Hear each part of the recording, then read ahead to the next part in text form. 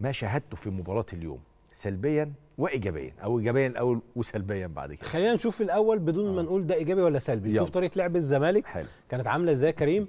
آه أنا عايز أش... أقول نقطة بس. هو ده مش ر... اللي إحنا هنعرضه دي مش رسمة إحنا مثلا عملناها. هو ده اللي حصل في المباراة دي ده متوسط التمركزات. ده رصد للي حصل فهيجيب لك طريقة لعب الزمالك. كانت عاملة. إزاي؟ الزمالك كان بيلعب ده طريقة لعب الزمالك. المسلوسي وعبد الغني و 29 ده عبد الشافي. مم. أشبه بثلاثي ممكن تشوفها رباعي. زي ما أنت هتشوف التمركز بتاع سيد نيمار آه، هيبقى wing back يمين ونضاي wing back شمال أو هتشوف إن عبد الشافي كان آه، full back ناحية الشمال وسيد عبد الله آه، full back ناحية اليمين. أنت ممكن تشوفها الاثنين أنا ممكن شفتها ثلاثة اللي هو المسلوسي مدافع القلب وعبد الغني يمينه وعبد الشافي شماله ولكن عبد الشافي كان واخد واجبات هجومية كتير. ونضاي وزيزو بيروح يسند معاه ناحية الشمال وساعات كان بيجي ناحية اليمين وأوباما راس ال- الحربة بتاع الزمالك ودونجا وعمرو السيسي ارتكازين مع تحرر أكتر لدونجا من العمق شوية وعمرو السيسي كان بينضم للمجموعة اللي ناحية اليمين. ده الز- الزمالك. إحنا قلنا كانت في ميزة عملها كابتن معتمد جمال في لقاء بيراميدز إن الأطراف كان بيبقى عليها واحد واثنين اللي هو إيه أنت بتحاول دايما تعمل اوفرلاب فتلاقي اللاعب بيطلع له لاعب. ولكن بيراميدز كمنافس هو هدد مرمى الزمالك كتير ولكن الزمالك خلق فرص في بيراميدز لأن بيراميدز فريق ما بيلعبش بشكل متتك... متكتل بيلعب مفتوح وبيسيب لك مساحات. تعالى بقى نشوف أبو سليم كان بيلعب النهارده إزاي. أبو سليم لعب خمسة زي ما إنبي لعب وزي ما زد لعب وتعب الزمالك جدا. فكرة الخمسة ولكن طبعا الفارق بين أبو سليم اللي هو أقل من انبي وأقل من زد إن انبي وزد كان عندهم تحولات. أما كان بياخد الكره كان بيعرف يعمل هجمة. أبو سليم كان بياخد الكره ما بيعرفش يعمل هجمة. صحيح. فلكن لعب بنفس الشكل ده. ثلاثة و14 ده كان wing back يمين و8 ال wing back شمال. وطبعا بما إن الزمالك رحل جزء كبير جدا من هجماته في الشوط الأول كانت ناحية الشمال. فتلاقي لعيبة أبو سليم جت هي كمان ناحية الشمال. فاتحرم الزمالك من اللي كان عايز يعمله. الزمالك كان عايز دايما يخلق موقف اتنين على واحد بين زيزو ونداي على الظهير اليمين لأبو سليم. ولكن الظهير اليمين كان بيلقى مساندة من أغلب لعيبة أبو سليم. وفي نفس الوقت لما الزمالك كان بيصل عرضيات كانت عنده مشكلة إن سيد عبد الله وشيكابالا الاثنين ما بيخشوش يكملوا. يعني أحيانا لو الهجمات كانت من ناحية اليمين كان ممكن نضاي يخش يكمل لأن نضاي بيكمل كويس جوه المنطقة. إنما أما الهجمات كانت بتتكون من ناحية الشمال اللي فيها زيزو وفيها نضاي كان شيكابالا وسيد عبد الله واقفين بعيد جدا بيتفرجوا لأن هم مش من طبيعتهم ومش من مزاياهم الاثنين إن هم بيعرفوا يكملوا ورا أوباما راس الحربة. ده هيبان جدا جدا في شبكة التمريرات بتاعت نادي الزمالك. هي بتشرح دايما شبكة التمريرات بتشرح لك شكل اللعب. وبتشرح لك شكل. دي أكتر من سبع باصات بين اللعيبة. هتعرفك يعني اللعيبة كانت بتعمل إيه. هتلاقي هنا هي مجموعة ناحية الشمال مكونة طب ناحية اليمين ومجموعة ناحية الشمال. مجموعة الشمال كان نضاي وزيزو وعبد الشافي. هنا مجموعة اليمين طبعا فيها أربعة لأن هم ثلاثة بس هو فكرة إن عمر جابر لعب هو ونيمار فالاتنين موجودين لأن دي على مدار المباراة.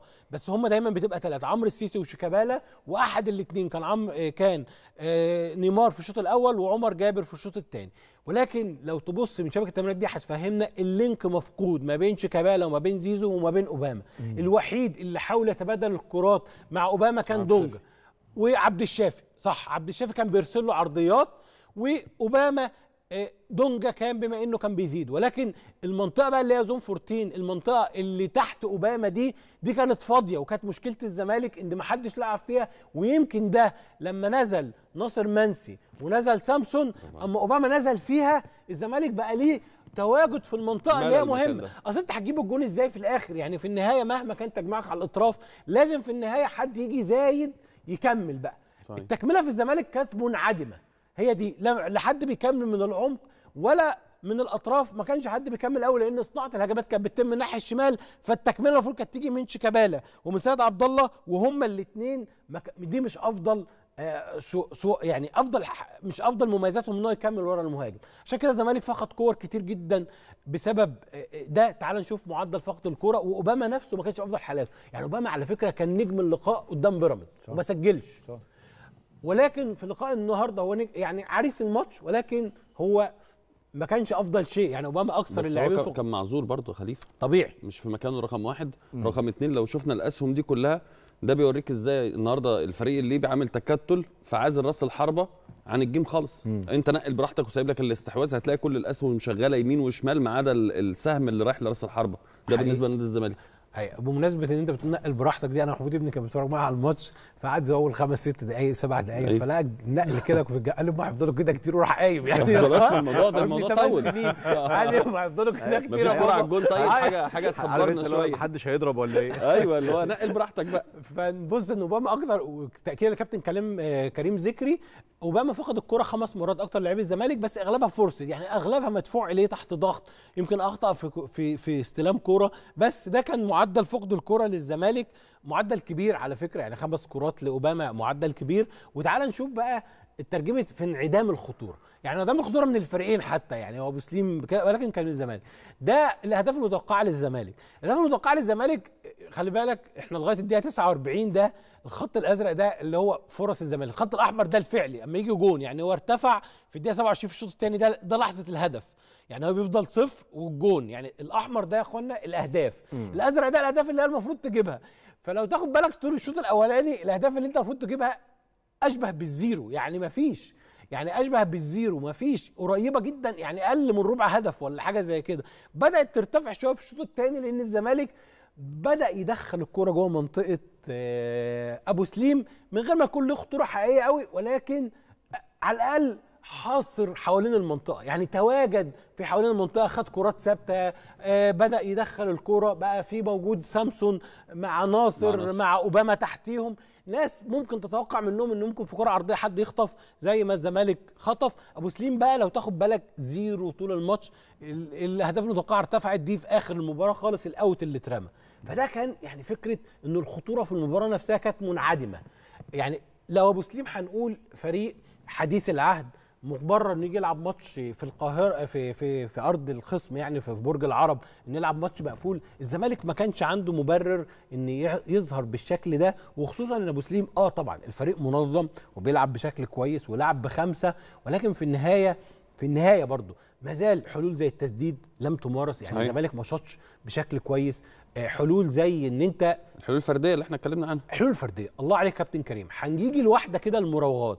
هتوضح لنا فكرة المراوغات دي لا دي دي دي دي, دي المحاولات بتاعت نادي الزمالك. عايز أكد على إن مفيش حاجة على الجون. الأزرق يا إخوانا بيبقى البلوج اللي هو اتشاط واتصد. يمكن الكرة الزرقاء الكبيرة دي اللي هي الفاول اللي لعبه شيكابالا في نهايه الشوط الأولاني ولعيب أبو سليم شاله بدماغه وده الهدف والباقي كله ده بره بره المرمى.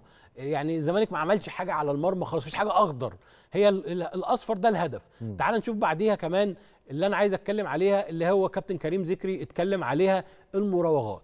عدد قليل جدا جدا من المراوغات.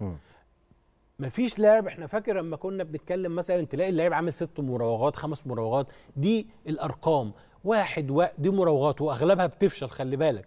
اللعيب الوحيد اللي عمل ثلاث مراوغات كان عبد الشافي منهم اتنين صح وواحدة غلط. زيزو ثلاث مراوغات كانوا سلام. والباقي واحد واحد واحد. الزمالك طول اللقاء ما حاولش يراوغ. في النهاية هي لعبه واحد على واحد. يعني طبعا. انت في النهاية لازم تعدي.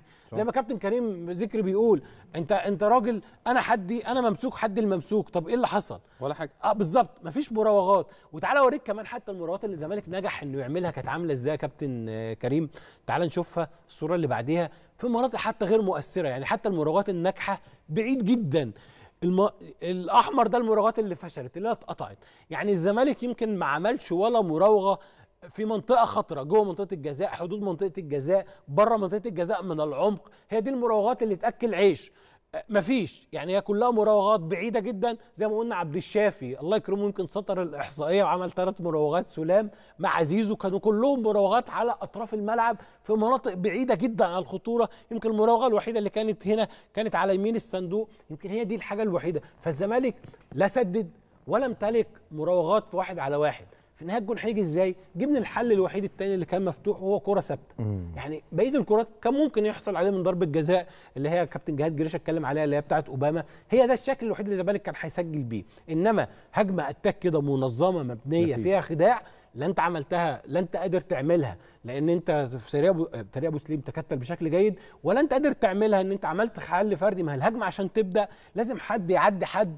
فيبقى في عشان موقف زيادة. تفكك الخطوط ديت انت المفروض تبقى عندك creativity أو ابتكار عشان لاعب وسط بيرقص صح. جناح بي... مفيش. يعني. الزمالك بينا... عشان كده إحنا بنتكلم إن محتاج لعيب كبير في كل خط. لعيب يقود. عشان كده اللي حواليه بيتشدوا. يعني يعني مثلا لو في خط الدفاع ممكن الزمالك يمتلك الونش. أما الونش بيبقى فورمة كان لسه كابتن كريم زكي بيتكلم عن فورمة كابتن حسام عبد المجيد وإحنا في الفاصل. صحيح. بيشدوا. بيشدوا معاه. بيشدوا معاه. بيغطي عليه يعني بالظبط. اما يبقى عندك لعيب creator في خط الوسط زي مثلا ما إمام عاشور كان موجود في الزمالك قبل كده وهو موجود ساسي. دلوقتي. آه فرجاني. لعيب عنده الحلول هتلاقي اللاعب اللي معاه مش مطلوب منه إنه يبقى مبتكر. يعني دونجا النهارده كان بيزيد كتير بس بالزياده ما تحسش هو عارف يعمل إيه. صح.